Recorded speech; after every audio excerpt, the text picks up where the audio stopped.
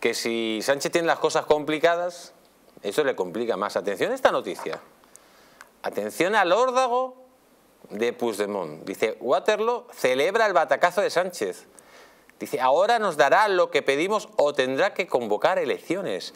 La derrota que ha sufrido Pedro Sánchez en las elecciones gallegas tendrá consecuencias a nivel nacional, en concreto con sus socios minoritarios que sostienen al gobierno.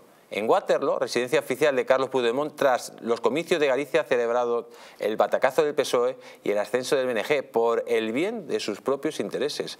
Ahora nos dará lo que pedimos o que convoque elecciones. Defendía el entorno de Puigdemont, conscientes de que un adelanto de las elecciones generales en España al día de hoy podría ser letal para Sánchez. Atención, que es que al perro flaco todos son pulgas.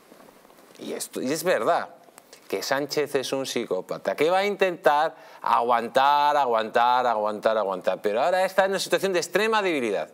Ni siquiera en su partido, salvo los paniaguaos que viven del cuento, le están apoyando.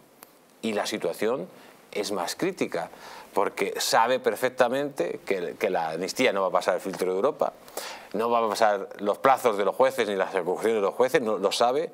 En esas elecciones eh, europeas va a ser un batacazo que haga historia, más que el de, más que el de Galicia. Y, Puigdemont sabe que si mantiene esa amnistía, la situación para Sánchez cada día va a ser peor. O se aprueba la amnistía, como diga Puigdemont, o Sánchez está directamente eh, muerto. Y saben que ahora su situación no es para hacer ningún órdago, porque si Sánchez se va del gobierno de España, a lo mejor le espera dar muchas explicaciones y no precisamente eh, ante, ante gente que le quiera, sino ante los tribunales. Yo de todas maneras, desgraciadamente es que los dos se necesitan para vivir. O sea, los dos se necesitan fustigarse a latigazos para vivir, porque claro, eh, si Sánchez desaparece, Puigdemont, olvídate. Y si Puigdemont desaparece, Sánchez eh, tiene rienda suelta para hacer cualquiera de sus barbaridades. Ahora, hay un lado en todo esto que dices, oye, pues aquí el único actor que parece que hay en juego es Puigdemont, que es el que exige al gobierno. ¿Dónde queda Esquerra? ¿Mm?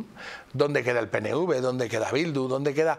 que podían estar chantajeándole, y de hecho están chantajeándole, pero desde luego en la estrella más absoluta y rutilante es, Junts. O sea, Junts le viene bien incluso que haya elecciones este año porque va a sacar seguramente más votos de más taraos. O sea, esto, esto en Cataluña, en Cataluña va a ser un héroe nacional para todos estos locos que hay allí. Dicho esto, yo, y sabes que lo he dicho perfectamente, yo sé que yo creo perfectamente que este año terminaremos en elecciones. Lo he dicho aquí y lo creo porque es insostenible. Sin, insostenible. ¿Sin presupuesto podemos seguir, Sánchez? sin presupuesto no se puede seguir. Si aquí se está hablando, todo el mundo está hablando de que se pueden prorrogar. Muy bien, ¿qué prorrogas? Tienes que hacerte dos preguntas con esto de, de los presupuestos. Una, se supone que tienes que contentar a, los, a tus socios y eso significa mucho más gasto público, ¿vale? Y mm, dos, Europa te ha dicho que se acabó esto del despilfarro de gasto público y Europa manda en esto, ¿eh? O sea, ojo, aquí sí que lo topa y lo topa, o sea, se acabó. Entonces, ¿qué presupuestos vas a hacer? ¿Vas a vivir con los presupuestos prorrogados? Pues entonces no va a llegar el dinero a los nuevos partidos que son tus socios como ellos quieren. Y si no llega el dinero, los políticos lo llevan muy mal muy mal, muy mal. Dime cómo vas a encajar unos presupuestos que no están preparados para esto, ¿cómo los vas a encajar? Si ya están negociando los presupuestos y ven que no tiene encaje, si ya lo han anunciado, si estamos ya anunciando, estamos ya negociando los presupuestos, porque no tiene encaje con las necesidades de los partidos políticos que hay actualmente.